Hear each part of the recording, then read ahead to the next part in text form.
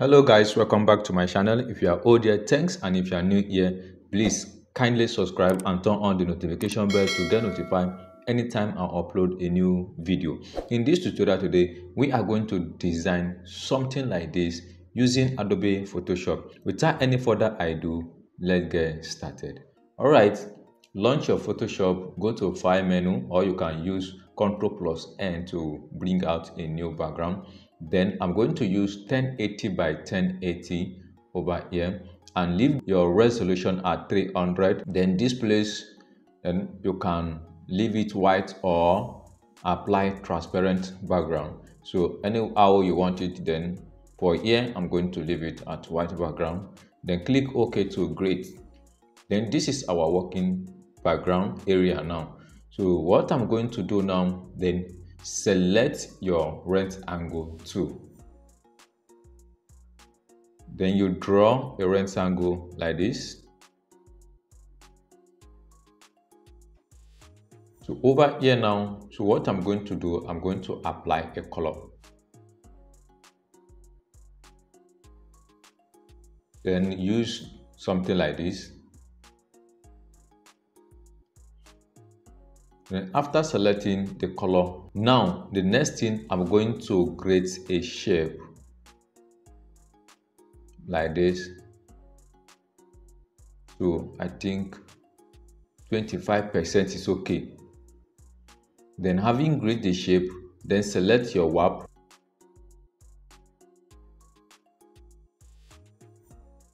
Then you drag it down like this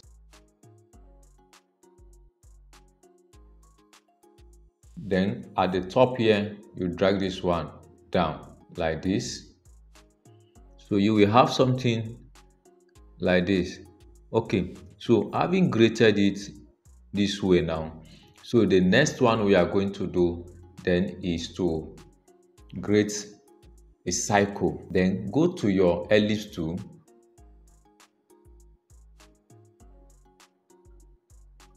Then you select it now, this time around, don't hold your shift key for perfect cycle. Then we are going to draw something like this.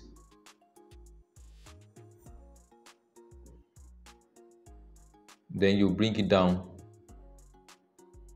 position it over there, then you drag it here.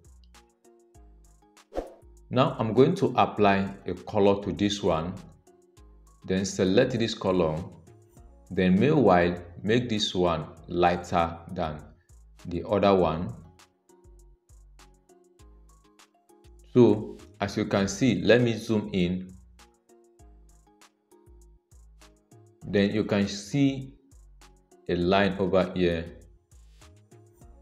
So now we are going to select this one. Then you drag it down so that that open space will be closed. So you can see now so the shape is not showing over there. Okay. Then having grade that one now. So the next one we are going to do then is to select this one. Then you drag it over here to duplicate it. Then hold your shift key and alt key while you drag it like this. Then come to the top over here hold your shift key and alt key then you drag it this way. All right now i'm going to duplicate this one again. Then do the same thing. Hold your shift key and alt key while you drag it this way. And this one you drag it this way. Then before then, we are going to select this one, then apply color like this so that you will be able to see this one very well.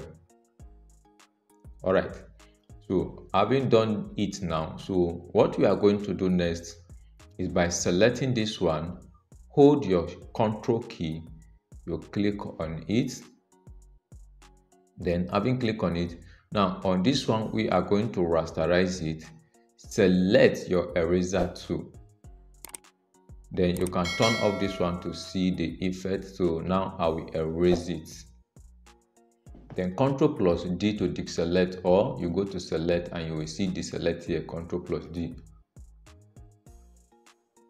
Now turn this one on.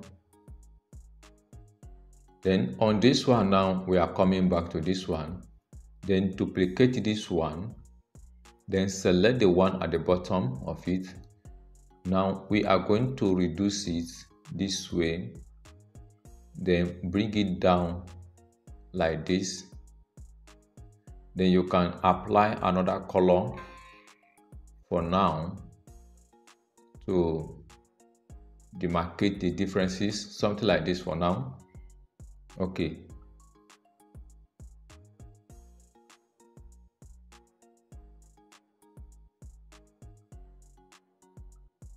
then I'm going to reduce it. I think it's going to be like this. It's okay.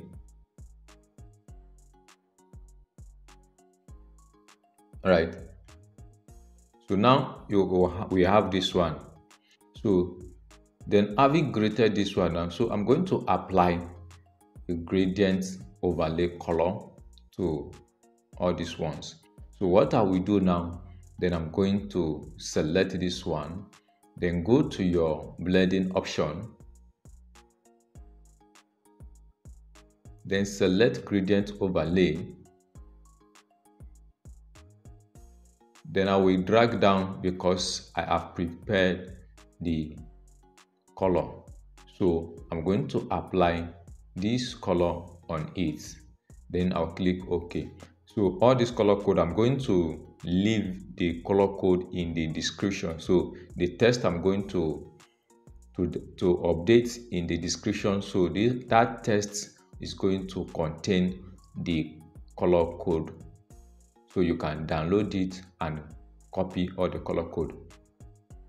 So having done this one so the next one is this one.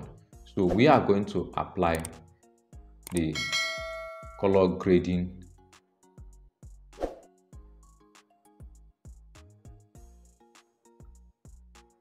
Now I'm going to select this one then apply OK. Then and this one over here i'm going to use this one. Then i will hold my alt key while i drag it over here. So the same thing apply to that one now select the middle one. Then create a new layer. Select your brush over here. Then i'm going to reduce the brush size using your bracket. Then I will leave the background color here white and I will click OK. Something like this. Then now what I will do now then I'm going to drop my tools and I'm going to press Ctrl plus T to select it. Then continue to drag it this way bring it down like this. Then hold your shift key drag it down. Then leave it like this. Okay then right click and create a clipping mask. Go to your blending mode and select overlay. Then this is the outcome. On this one then we can adjust the color to be lighter a little bit light somehow like this. All right. So then you click ok. Now select this one. Then let's go back to our then use soft light i think soft light is more better because the overlay is too light. So let's use soft light. Then this is the outcome of it. Okay now you can select it all then ungroup it this way. Then you can reduce it. All right now Ctrl plus J to duplicate or you drag it over here then to make a duplicate then we can drag this one down over here. Then you select this one then go to your gradient color. And over here I'm going to select another color from here by using this one. Then I'll click OK.